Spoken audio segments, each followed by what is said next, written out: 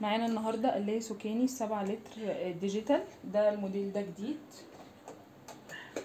الشكل بتاعها مختلف عن الموديلات اللي فاتت. هنفتحها مع بعض. نشوف ده شكل الدرج بتاعها من جوه. ما يقلش كتير عن التمانية لتر. جاي معاها شبكة برضو. الشبكة ليها أربع كاوتشات من الجنب علشان خاطر ما تجرحش القلاية إحنا شايفين ده من الجنب. تحط كده.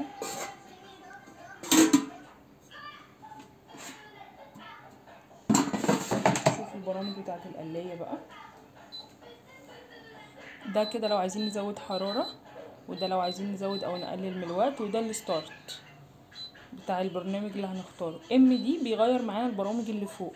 معانا بطاطس معانا اللحوم دي اللي هي الريش جمبري فراخ لحمة كيك سمك وبرنامج التجفيف كمان آه على درجة حرارة 115 فالقلاية شكلها لطيف وحلوة وجديدة طبعا موديل جديد ومعاها ضمان سنة و1800 واط ومتاح منها قطعتين إن شاء الله.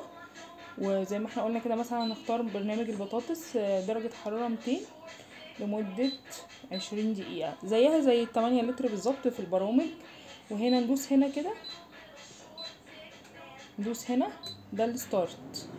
طول ما هي شغالة كده معانا زي ما إحنا شايفين. برنامج البطاطس وهي كده شغالة. أما تبدأ تخلص بقى هتدينا الصفارة العادية. يعني ممكن نقلل الوقت. ونشوف لما تيجي تفصل معانا بعد الدقيقة هتدي صوت إيه.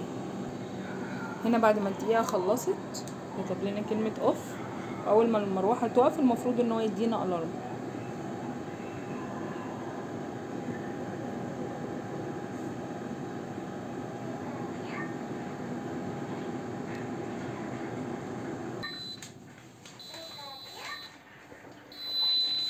بعد الصفارة دي بقى نقدر نفتح الدرج براحتنا. طبعا يعني مش عارفة البخار ظاهر ولا إيه بس البخار بتاعها خارج إن شاء الله التسخين بتاعها سريع وقوي قوي يعني إحنا ما كملناش دقيقة والقلاية كلها سخنت كويس قوي القلاية شكلها شيك قوي جميلة. وبصراحة ال style الجديد ده شكله ألطف شوية.